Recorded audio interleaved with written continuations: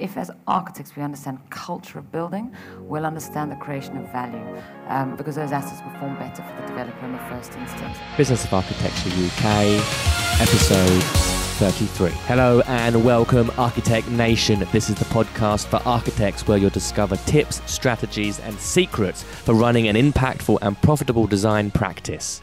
Hello and welcome. Rion Willard here, host of the Business of Architecture UK.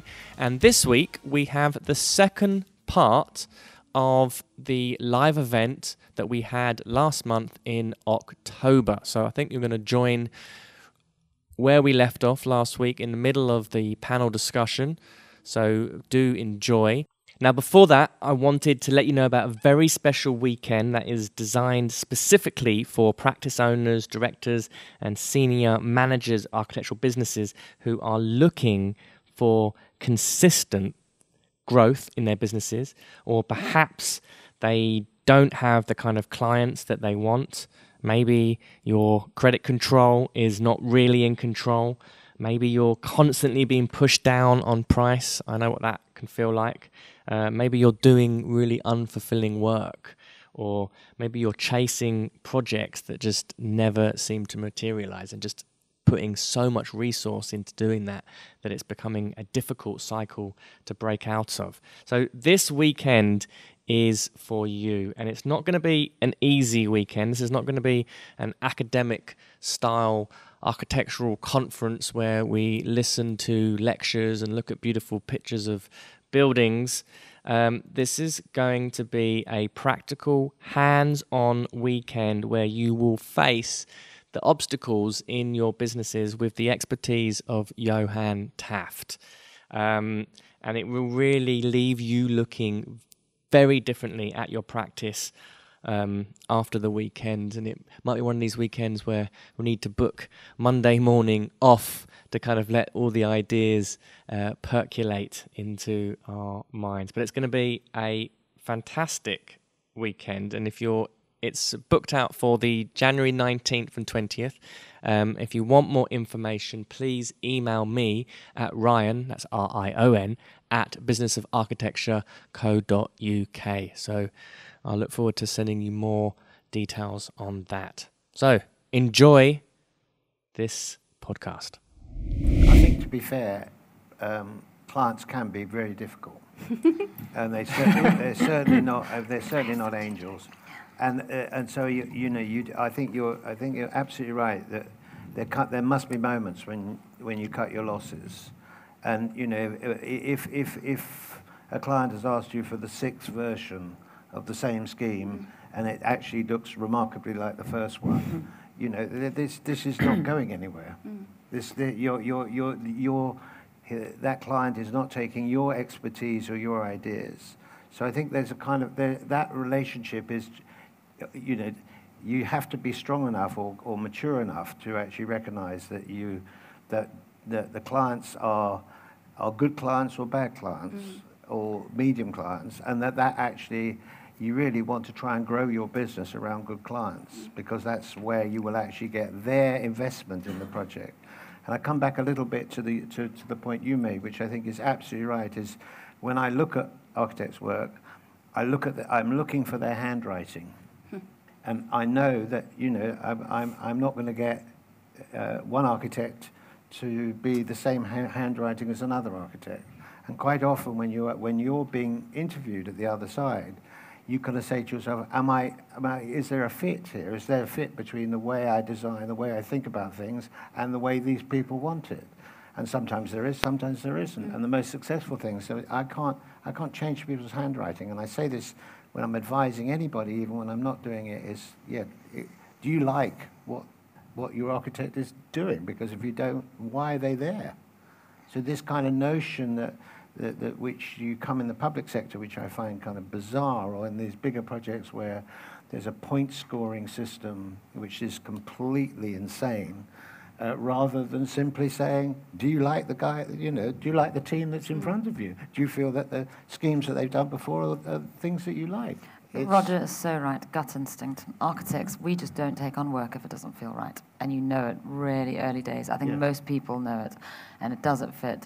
Um, you know, we don't engage in the OJEU process at all. Um, and if a project's not right, we don't take it on. We'd rather not grow for that project. Absolutely. And that takes quite a lot of bravery in a current market. Um, there are a lot of rogue developers out there. Roger is not one of them, obviously, but there are. And they will come into architects' practices and they will ask for one spec scheme and another spec scheme. If you give somebody free work, it's just that. It doesn't have a value for somebody. Don't do it. Architects shouldn't. You know, it's, it's something that we really, really feel very. If we've got a client, a long established client, we've done three or four projects, and he comes in with a great site, of course we'll do a massing study for him. But there's that history there. But, you know, be mindful of developers. There are very good developers and, and funders, Yeah. and there are those that, that you know, are just a little bit more testy. And, and we've all had our experiences of them. You've obviously mm. had it as well. And they don't see value in architects or any of their advisors, whether that's the QSs or the structural engineers. And check them out. I mean, check the developers out. And, and there's two things, two questions you want to ask. Do you own that piece of land that mm. you're asking me to build? Yeah. Or have you got, a, you know, have you got a contract on it? And, and if the answer is no, well, well then, am, am I being paid to, you, what you're, what you as the architect, if the, if the developer doesn't have a hold on that, you're speculating your time and effort to help him make his pitch or her to make his her pitch. And so I think that's really, I think you have to be much more, you, you know, that information is all, all out there. And actually, you just have to be more careful and cautious because what we're saying is what is the things that can disrupt. Now, what can disrupt you terribly is if that, if that developer is underfunded or, or really hasn't, is flying a kite, he's flying a kite on the basis of your, the stuff that you're doing for him. And I think that's, that can be, that's very dangerous because you don't know whether he's going to actually be able to land that kite. And I Oh. think for the same reason, the open competition process, I mean, RIBA Dreadful. support them. Dreadful. PQQs that ask for design feasibility work It's when you've never even met them, Yeah. it's it's bullshit. It costs a firm like us like eight grand to do something like that, and I could spend all year doing them and get nothing because I'm not the right person. That was a cheer of approval. and I just think that it's exactly the same. Like if a developer comes to me asking for a feasibility appraisal, why would I not charge for it? It's the same for an open competition process. Fine if you've just started and you just want something to get your teeth into to get something on your website, but that's it. We never do them again because, and I think that the RIBA have a lot to answer for in terms of running competitions Yeah. like that. And I think that we should all avoid them as a group. Like the whole industry should avoid things like that where we're paying to give somebody else the visuals to support their funding process. I think it's terrible, and um, I won't go on anymore, but that can kill your profit. And it's so few people win work from it. It's crazy. Why, why are we doing it? I just think it's, I think we should collectively not do anymore. Yeah. And Well, we, one- we, yeah. we know why we're doing it collectively as a profession because we're still obsessed by cost and not value. Yeah, yeah. And therefore, while we continue to, it's so, you know, everybody's saying, oh, well, you know, 14 firms can apply for this competition and receive no fee. Mm. Me, meanwhile, 14 teams have done 14 Mm. times the work. Mm. For what benefit? For what value? How does that add anything to either Mm. to anybody. No, I think, I, and I think it's irresponsible of the RIBA to run competitions when they haven't done financial checks Mm. On the team that's actually putting the scheme together. That they know one that they own it, two they've got the funding, and three they've got the um, technical record. And we can't. These days, developers can't proceed. They won't get funded. They won't get an institution to back them. They won't get funding, whatever it is, unless they've actually got the track record to prove that they can do it. We don't. It, it, the developers sit. We're like kind of. I always like to say ourselves. We're like jockeys that sit on the back of a horse in a race, and you know, if I'm if I'm making money, then lots of people want to stick pound notes on my back. if I've hit a bad patch, it's all on somebody else's.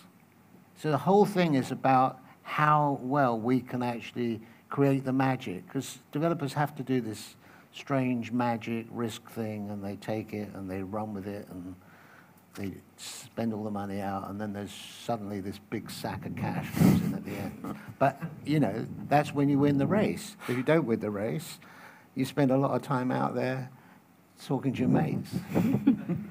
Um, from- Johan. Yeah, from a psychology, psychological perspective, you talk about developers. You look at a very, very different animal, a developer and an architect. These are almost opposing beasts. One is uh, very precise, very uh, meticulous, uh, wants to be nice to people. The other one is a gambler. He's a tiger. No, no, no, no, Yeah. we're not gamblers. We're, Some we're of them risk- are. A lot of them that I have we're worked with are gamblers. We're risk, Risk- okay, takers, cut- and that cut- we right. kind of that we just Correct. Risk takers, yeah, on the edge yeah, of we're being gamblers, takers, yeah. But And, it's very um, thrilling, kid. It is, it is. It certainly is, yes. It certainly is. But these are very, very different animals. And, and, and these two people coming to work together, it takes something. And um, I, I know a lot, a lot of architects uh, will perhaps take on stuff they shouldn't be taking on. Uh, not that they don't know that they shouldn't be taking it on, but because their pipeline is running pretty thin and they feel their, their, back up, their back is up against the wall. They don't feel they have a lot of options. So um, earlier on we talked about turnover. I mean, profit is everything. Turnover is, um, what do they say? Turnover Vanity. is vanity. Vanity. Yeah. Cash Profit is is sanity. But without turnover, there is no profit. And you want good turnover. And you want plenty, plenty of customers coming through the door, an abundance of customers coming through Yeah. the door. So every business owner, every, every, every leader in, in, in any business, architect or other, should first and foremost be a good salesperson. They should understand the psychology of selling. You're going to be selling your business not only to clients, but to talent. That's what you deal with. Mm. You know, you're selling your business and the proposition and the career to your talent. You're selling it to your family who support you when you're work, burning the midnight oil if you have to do that. You're selling to everybody. If you don't have good selling skills and don't understand the psychology of selling and the psychology of buyers, buyers don't care about you. Buyers buy for their reasons, not for yours. And if you don't understand that and you do not understand um, what you need to be doing to protect your offering, to protect your business from that psychology, you are going to find yourself in some pretty hot water. And it doesn't, it's not that hard to do. Um, but I do know, for instance, from speaking to Rion, certainly, that the RIBA didn't teach you much about that, did it? No. Unfortunately, and uh, they should. And school, high school didn't teach us about that, and university, for most of us, didn't teach us about that. But yet, 80% of everything we do is interaction with other human beings. And uh, decisions are made with other human beings. And if we do not understand how that psychology works, I think we're missing out on, on, on a massive opportunity um, to, to get things right. And it's just, and so one word everyone needs to learn uh, to say after me, no. just say no. And you can always say yes, but we say yes because we're afraid of you know, not closing any deals this month, and I need to pay this one, I need to pay that one. So we start shrinking our power, shrinking our self-esteem, and uh, shrinking our opportunities and possibility. And we then take on people we don't really want to work on with, people we don't want to work with, um, projects that really don't represent the dream we had when we first started. They don't particularly represent the brand we're putting out. We've paid some expensive marketing agency to put out, to create the brand and put out, but we're actually taking on clients that don't really fit with that. So the impact is huge. And then they don't pay on time. And then they pushed us for a discount. And then we gave them some free consulting right up front. And it goes on and on and on. Paul Williams of um, Stanton Williams 19 years ago told me that uh, as a lovely piece of advice, no client is better than a bad client. And I still remember that to this day. Yeah, brilliant. Yeah, no client is better than bad client. Very good. So I'm quite keen actually to get some questions from the audience now. We've got the roaming mics.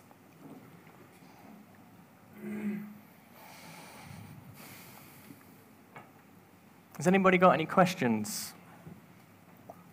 Lanre, just wait for the, the mic will come around. This gentleman here, put your hand up. Hi, uh, Lanre Bellarde. Just a quick question. Um, thank you very much for, for your kind of contribution so far. Somebody touched upon the idea of uh, the architecture kind of profession being quite crowded or the market being quite crowded. I think it might have been yourself, Jo. Um, simple question: Is the industry actually too fat? Does it need kind of you know leaning up a little bit more? Um, it's a difficult one to say. I mean, you know, the reason that the industry is crowded at the moment is because land values haven't ratified um, at a purchase point against resale values, quite simply. So less and less has become viable to develop. We've got a looming Brexit, change of government, you know, difficult time economically. So two years ago, there weren't enough architects. There was so much work going around, you know, nobody was competing, no one was dropping their fees. I think that the market feels crowded at the moment as much due to the economics um, of the kind of current environment which the UK is in. Um, so I think is it crowded? Yes, it is. I think it's about streamlining and being more clever. Um, I think what's been amazing to watch really in the last few years is the rise of people who come straight out of university and start their own businesses. Um, and that's been a real change, actually. Um, you know, most people would do what I did and go and spend eight or nine years and work in a sort of practice and learn what you could. Um, and I think that's interesting. And I really like it, the solopreneur architect. Um, I think it's going to target that niche market. I think it challenges when we talk about free work, we do do it, um, but it's for ourselves. You know, we're always doing R&D in different projects. You know, the future of family housing, you know, as opposed to the Barratt housing estate, or, or you know, we're looking at different types of modular and high-rise, and we're pushing our business to think all the time about the next step. The future of workspace is a big focus for us in R&D at the moment. Beyond the crystal walls and the bean bags of a WeWork, what is the future of workspace? You know, what does Bitcoin mean? What does blockchain mean? How do people work? How do they live? So I think it is a crowded market, but I think that if you are if you have initiative, if you're looking culturally at what's happening, if you're looking at economically what's happening ahead of you, I think practices, the best practices will survive. Anyone else want to add anything to that? I was just going to say that uh, so few buildings in the UK actually have any involvement from architects, uh, which we all know, and maybe that comes down to the point we were talking about about architects not um, linking themselves with the value they create. And I think that there's, in a way, in order to spread the market thinner, if we all understood how we could add value to people who aren't even considering using architects, and maybe to find a way of demonstrating that our costs would increase their value beyond what a process they might otherwise take with a surveyor or whatever. Um, I think that could help sort of even it out. But yeah, it does feel like a crowded market with lots of people ambitious to do um, similar things. And uh, I know that my parents are architects, and they, they, sometimes I ask them advice, and they're like, "Oh, just who, it was who you knew. There was no PQQ. There was no procurement process. It was a totally different industry." And as we've all got uh, the, the the, the kind of atmosphere is different and the way that you get projects is different. We're all fighting over kind of similar things. And it goes back to my point about trying to become an expert, trying to be the only person for the project. Yeah, it's quite, it's, I find it quite interesting talking to lots of architects. Um, I was speaking to, I think it was Ben Allen recently. He was saying his generation, people when they would wait till they were like in their 40s, 50s, having had 10 years of experience working in architects. Now it's much more common for people almost straight out of university to setting up their own practices, which has kind of totally changed the sort of demographic of architects that are there, and there's a lot more of us.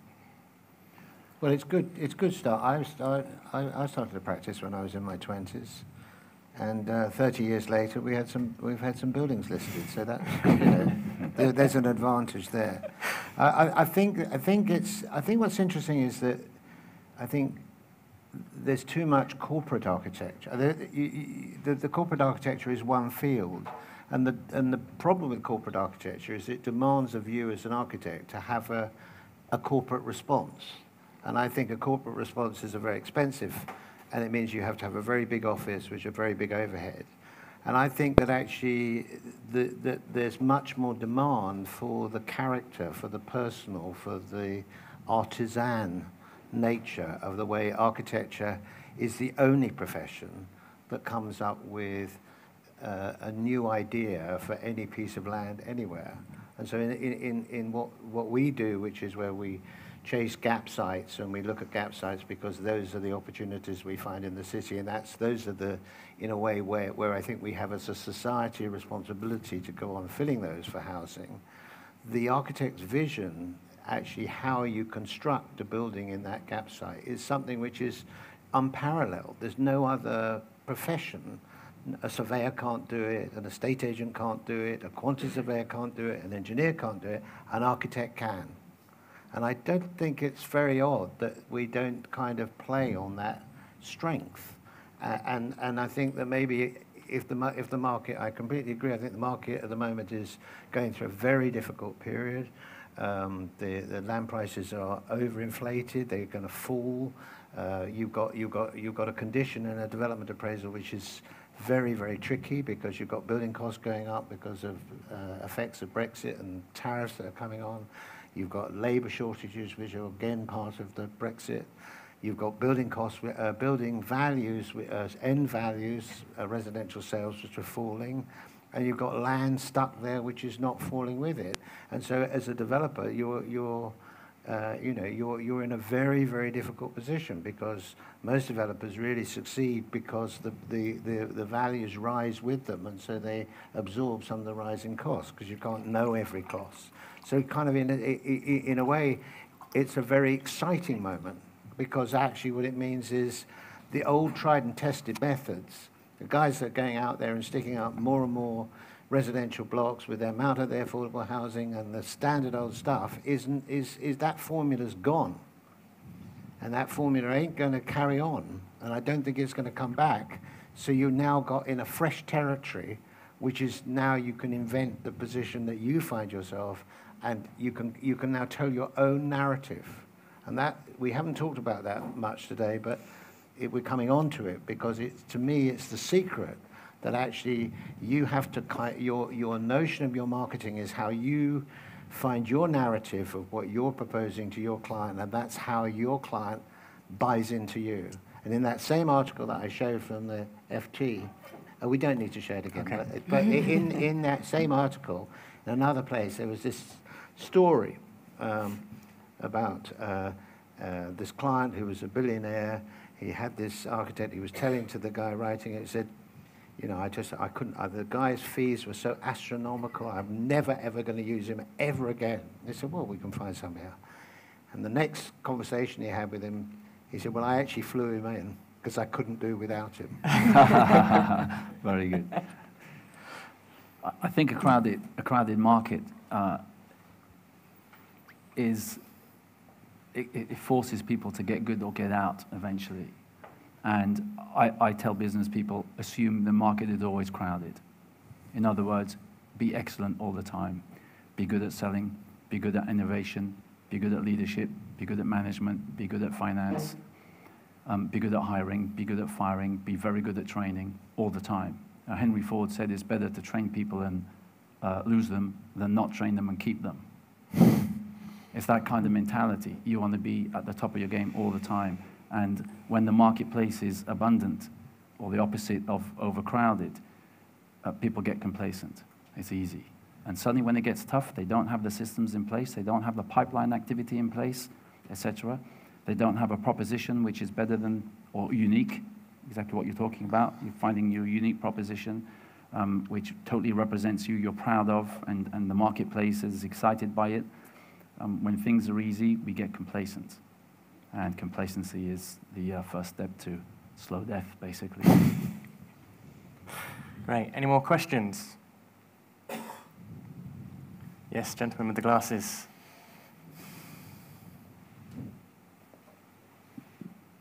Hi. Um, seems to be a bit of the buzzword um, of the evening, value. So about that, um, it's quite hard to quantify sometimes what value an architect can bring, because there's there's the talk about numbers of units, GIA, GEA, etc. But the the nature of the profession is is a little bit more complex in terms of it being a an art and a business. So how can we distinguish the two, and how can we actually quantify the design aspect of architects delivering more quality and that, make, that making um, almost your unique selling point.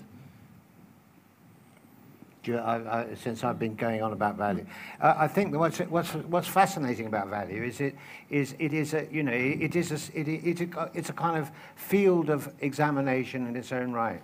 To me, value is about the appropriateness of the buildings you're making. It can be a value to a community. It can be a value. You can you can have a I can have a wonderful moment in a building that we've made because that light coming in from that window hits the table that I'm working on and makes me feel magnificent. That's value. I've add, you know, the architect has added value. Don't, it's not all about the bottom line. It's all about a kind of, actually, it's just a recognition that you do not exist. Nobody owes you a penny. Nobody's going to pay for your fees unless you're adding something to the story. And I think we add enormously to the story because we have imagination. I run a development company, and basically I employ architects doing all kinds of things that architects shouldn't do. Like I have land buyers who are architects. And the reason I have land buyers or architects is because they use their eyes in an architectural way to recognize those bits of the city which are going to excite me. They're adding value to my story. They're different to a land buyer that, that works for a, a house builder. You know, I have project managers who are architects. Why? Because they can actually understand that when we're actually developing that and we're having a discussion around a design team meeting, the value that we want to create as a, as a company that we know our customers want from us is something that actually we're going to do. So somehow, I think it's somewhat outrageous that for the years of study that you spent at school that you paid so much money for, that actually value was not engaged, since actually that is the that's our trade, that's our stock, that's our currency. When you stand in front of a client, you've got, you're, you're, you're kind of, you know, you're seducing them into what?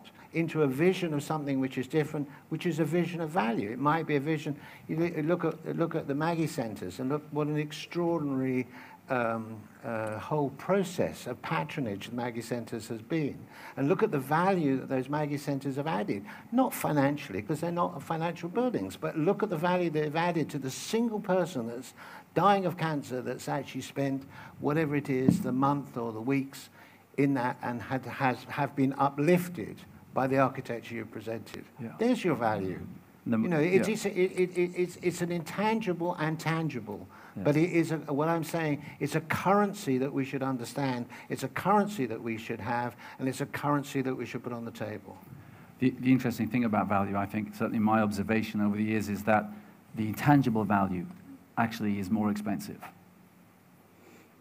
People will pay more for intangible value. Yeah, well, there's So an- that feeling they get with the light on Yeah, the table, absolutely. they'll pay for that. They don't care about, they do to a degree, but they'll pay silly money for a, for a hole in the wall in the light. It's just a hole in the wall in the light, but it just brought some magic, and they'll pay for that magic. Back in the 70s, um, Harley Davidson sales were crashing because the Japanese companies were starting to make motorcycles, but they weren't selling motorcycles. Harley Davidson was selling motorcycles. They were selling, uh, and all their advertising was around 1400 cc of thumping pistons and uh, you know, chrome and pictures of engines. And uh, Honda was selling a dream. They even call their motorcycles Super Dream. And their advertising was uh, a couple on a motorcycle in this beautiful countryside and the hair waving underneath a helmet in the wind. And that's what they were selling.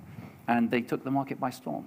Uh, 25 years later, Harley Davidson, on the brink of bankruptcy, brought in some very, very expensive consultants. The consultants knew uh, it was, they knew how much pain um, and, and, and the cost of these mistakes to um, Harley Davidson, so they charged them appropriate fees, value, to turn the thing around, okay? And uh, it was, a lot of it was intangible because the stuff they taught them wasn't pistons, it wasn't nuts or bolts. It was, you need to sell a dream. Now, Harley Davidson are very successful today. And what are they selling? A dream, a lifestyle, yeah? Tattoos, uh, t-shirts, leather jackets. They weren't selling that in the 70s. Can I give a really practical example? Because I think I'm, we're also really com- always coming across the question about added value. And like, we're working on a housing project for a community land trust, so the budget is tiny, and we're trying to put a lot, trying to spend some money on landscaping and public space. This is of no value. The house prices are already set. They're set. They were set when we started the project like a year ago. They're not going anywhere, but costs are rising. So we have this really fundamental problem on this project that the longer it takes, uh, the more tricky it is. But basically, where we are working on housing projects like that, we're coming to the point where we're talking to people who are managing the buildings in the future and asking them what, the, what is of really great value to them on these houses. And it's, uh, we had a really interesting answer the other day, which was, I want my people living there to have a really good night's sleep because they're all working long shifts, they're having a really difficult time. So then the design value that we can bring is for our residents to have a really, really good sleep. So a really great place to live with a quiet public space. So we sort of changed the public space design slightly to be less sort of boisterous and play space because actually I thought what they said was so sensible, other things about maintenance, etc. But I think that where you want to demonstrate value, you have to ask your client what the value is to them because you might get some surprising answers. And it's not always for us to say, oh, it's really important to spend money in this area or that. Mm. You've got to find out to them in the same way that you talked about the Maggie Centre, you know, the value there is not a tangible thing as such. I I think you've got to tease it out of them and Yeah. present it to them as well, because the problem the, the, the, uh, the client brings is never the real problem. Mm. It's, uh, there's always something behind it, and there's always something they're not looking at. You know, they don't have your eyes. An architect has incredible eyes. I mean, I do a lot of different things with Rion, and I bring him into all sorts of different things because he has those architect eyes. He sees stuff in the way that I don't see it. It's priceless. It really is priceless. Um, and clients don't see that. But if you're not taking them on a journey, and that I would call, that's all the conversations that should happen before anything gets built, before any drawings happen. These conversations, this, this discovery, uh, this journey should be, should, should be happening between you and the prospect and painting a picture of what is possible, touch moving them and inspiring them with what architecture could bring to these bricks and mortar at the end of the day. And, and, and that's, I think, where, where that's what I love about your profession. But that's the missed opportunity often. Value is an interesting one. Um, you know, we're, we're an architecture practice that understands it fiercely. But one of the things that we talk about a lot in our office um, is the culture of buildings. Um, as you say, bricks and mortar. And we use an example of the Ace Hotel in Shoreditch. You know, that was, I think it was an Intercontinental three years ago. You know, it's at 50% occupancy levels, 150 pounds a night. You know, EPR Architects did a great job, not plugging them, but, you know, they did a very good job with Universal Design Studio, and they spent 120 pounds a square foot on that building. They put a new office, you know, sort of, you know, communal workspace at the ground. They put a restaurant in. They put some flowers outside. They put some bulbs up. You know, they redecked the roof and, and they fitted out the bedrooms and they did a great branding and marketing campaign.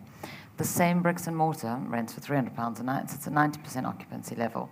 That is a cultural change in a building. Absolutely. The value we create is about the cultural buildings, whether it's your housing estate and that public realm and the urban realm, the way people interact, you know, whether it's an office building, the way people work together. If you can make assets perform, you know, people want to be there, they want to use them, particularly as we move into build to rent and built to rent for me is hotels, it's, it's offices, it's flats, it's housing. You know, the market will move into stuff we build to rent out, you know, as equity depletes and next, you know, even further now coming. So if as architects we understand culture of building, we'll understand the creation of value um, because those assets perform better for the developer in the first instance. And whether that's a droplet of light on a table or, you know, whether that's a Maggie Centre, um, I think if you can focus on that but also understanding the benefit of it, um, and actually how you viably deliver that, that, that for us is what value is. Brilliant. Thank you very much. Got time for one more question. Lyndon. Yes. Um, Just wait for the microphone. Thank you. Um, at what stage then would you introduce cost planning, say, any of you architects? Because, you know, Roger, you've probably got people on your team that produce you costs um, of development. But in Jo's case, you've got clients coming to you, they ask for a building. And you've got to tell them, presumably, how much it's going to cost them. And you could use a square foot rate, as you said. But at what stage would you, you know, involve quantity surveyors and cost planners? And, or would you do it, or would you rely on the architect to sort of like appoint his own QS and say, right, your building is going to cost this much, and we're happy? Or would you would you come? I mean, do you think there's more strength in you going to the uh, client and saying, "Well, we we've you know got our own cost planners or consulted, and this is what we're pretty much sure it's going to be"? I mean, um, okay, I'll answer this one.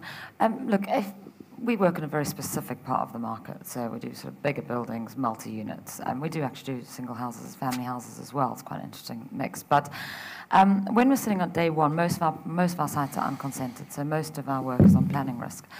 And generally, we're working for a developer looking at a site, and, and we've got an amazing new office building going up um, in Wandsworth. And when we sat on that, we were developing the brief. Would it be residential or would it be workspace? And we were a big part of that from a planning point of view. But we're also understanding, you know, in that area, you know, how much should something cost? You know, how much can you do it for? So we have close relationships with lots of QSs um, and other architects, and, and we actually just pick up the phone and say, you know, you guys are working at, you know, I think at Fernfield and Cled Bagley, they're working cross. Guys, what are you delivering this for? Is it 275, 285 a square foot? So we start to sort of ratify roughly where we are.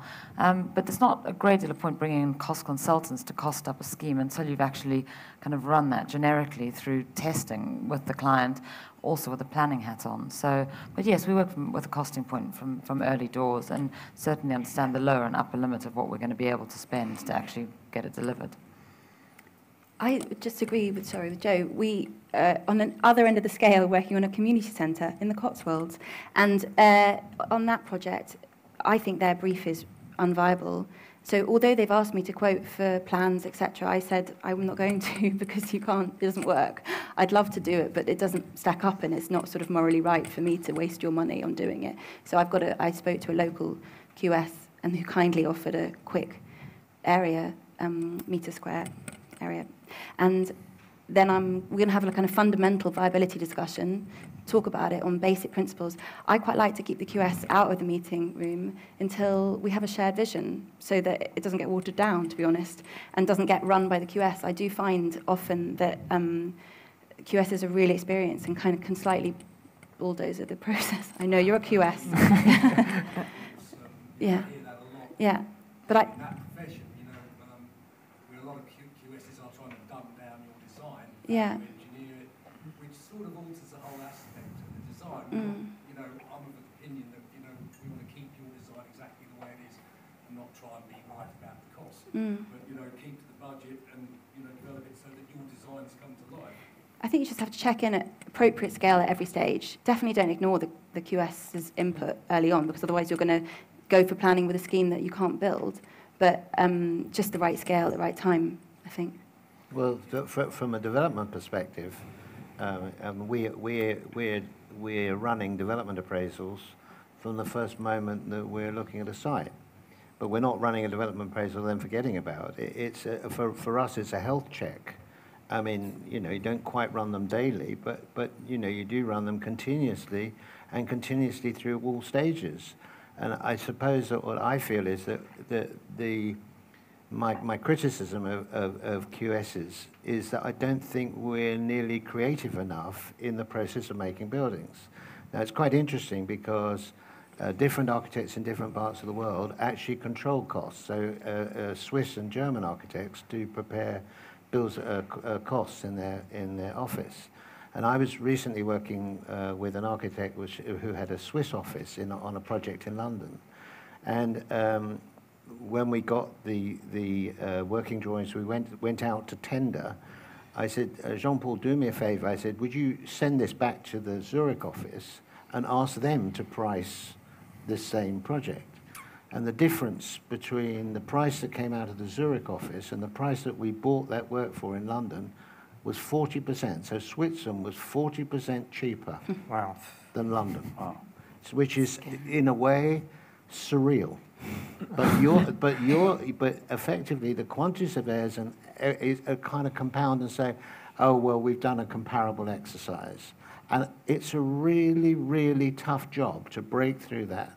And I think we really, the government is saying it that we have to find, we have to, we have to radically change costs. That we need to be taking a third of our of cost price. And we don't create that third through your value engineering. Value engineering is cost cutting by another name. But what I'm interested in is obviously making value at the other side. And we now know, we've been doing it for long enough, and we have our customers, whether our, whether our customers are investors who are buying our completed building, or our customers are our tenants who are renting the office space, or, or our customers are buying our, our residential space, we can now charge a premium, and everybody recognizes that the quality of the buildings we make is what they're buying into. And that gives us an edge in the marketplace because when our buildings are out in the marketplace, we get a queue of people that want to buy them, and our competition doesn't. And we only get that queue of people, not because they like the color of my face, it, only because the quality of that building and the way our teams and our architects have actually delivered that quality is, is what we get our premium for. And we have to start to think in those ways, and we have to think of it entirely. There, there's far too much risk covering in the whole of the construction cost side. And that is really doing, it's a kind of, it's a nonsense. It's the notion that somehow development is a risk-free business. It isn't. Development is, un, is undertaken by a very a skilled set of professionals who should know their business. There's, there's no place to park that risk on a, on a contractor who, is, who actually is not nearly as capable of taking that risk as the developer is. There's a, there's a complete misunderstanding, and we just have to kind of work that through. Thank you. We're going to end it there, but thank you so much. So that is a wrap. Thank you for listening. The views expressed on this show by my guests do not represent those of the host, and I make no representation, promise, guarantee, pledge, warranty, contract bond, or commitment except to help you be unstoppable.